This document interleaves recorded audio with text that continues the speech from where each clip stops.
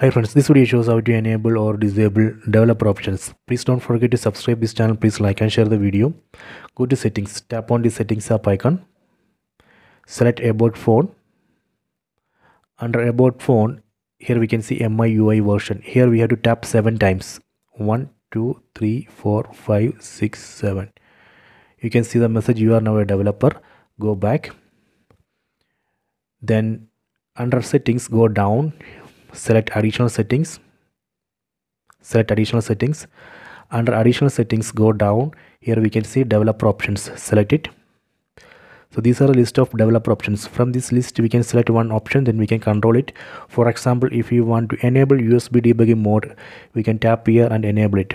Let me enable one option. I am going to enable show refresh rate. Tap here. Now we can see refresh rate here. Let me disable it. Again tap here and disable let me go up. Later if you want to disable developer options completely we can tap here and disable developer options.